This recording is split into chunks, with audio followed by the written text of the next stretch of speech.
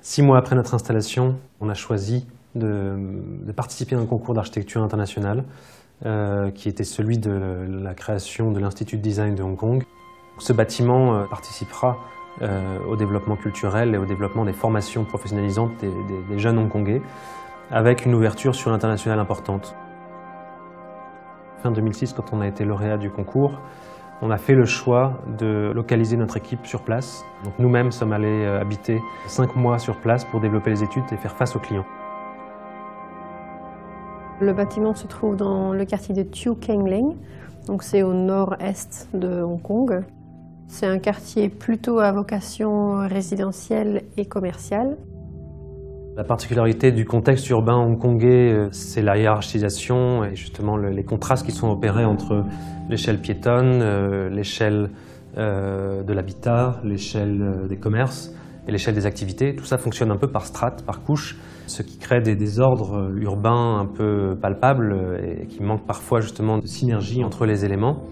On trouvait que le, bâtiment était une opportunité de recréer des nouveaux rapports urbains pour euh, rompre avec une certaine euh, habitude de hiérarchisation euh, assez radicale des fonctions. Pour ce concours, on a utilisé une métaphore, donc la feuille blanche qui est le moyen de base pour chaque designer. En fait, c'est ce qu'il utilise au début de chaque mission pour commencer à créer quelque chose. Donc c'est un peu euh, l'idée de, l'éducation qui supporte euh, le monde des idées. L'idée d'utiliser une métaphore en architecture, pour nous, est un, moyen intéressant de, se désapproprier le projet et de pouvoir le transmettre, pouvoir euh, faire en sorte qu'une autre personne, un utilisateur, un client raconte l'histoire du projet, le comprenne, juste en expliquant les, raisons de sa composition volumétrique. La structure des tours est en acier treillis et donc porte non seulement euh, les dalles en béton armé des tours en elles-mêmes, mais également la structure de toute la plateforme qui est donc euh, en saillie euh, par rapport aux tours. Et donc on voit à travers la façade ici les poutres dont les diagonales transpercent tout l'espace afin donc de, porter ces grands porte-à-faux. La composition même de l'architecture induit euh, des qualités euh, naturelles. Euh, on peut voir la, grande plateforme qui, protège naturellement des ensoleillements ou même des pluies fortes, puisqu'à Hong Kong le climat est quand même assez rude, humide et il pleut très fortement régulièrement. Et en même temps, le bâtiment, par les différents décalages de chaque tour ou les vides créés entre les volumes, crée une sorte de fraîcheur naturelle avec des, courants d'air qui sont créés. Donc il s'agissait de composer le bâtiment selon des contraintes très très fortes qui étaient celles de la hauteur, puisque nous étions, plafonnés à 55 mètres, ce qui crée un, rapport d'échelle assez complexe. On voulait que notre bâtiment soit une résonance à ces éléments structurants de la ville, qui sont pour nous euh, la verticalité, mais aussi euh, le paysage. Cette plateforme qu'on a véritablement soulevée du sol euh, pour la poser en lévitation sur les tours, elle permet de décupler euh, les vues depuis la bibliothèque vers les collines, mais aussi vers la baie de Hong Kong.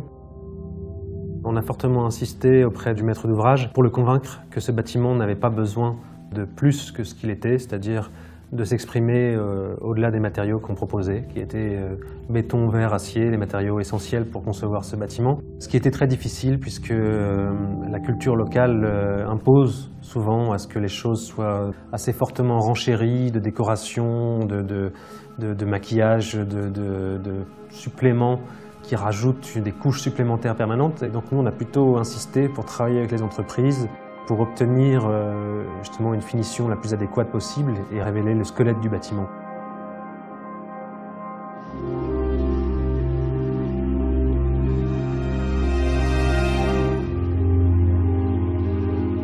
On se trouve dans ce bâtiment de manière euh, quasiment euh, systématique dans des espaces semi-intérieurs, semi-extérieurs. L'implantation de ce grand escalator qui relie les éléments, une sorte de, de presque de clin d'œil à ce contexte de la ville hongkongaise. Ce bâtiment permet d'être euh, complètement euh, pénétré et de laisser la ville euh, continuer à travers lui. Et donc ça, ça a été une, réelle interrogation de la part des utilisateurs. Comment est-ce qu'on peut se sentir dans une université proprement dite avec un bâtiment aussi dilaté, aussi ouvert? Et nous, on leur a expliqué que c'était vraiment la clé de la réussite de ce programme.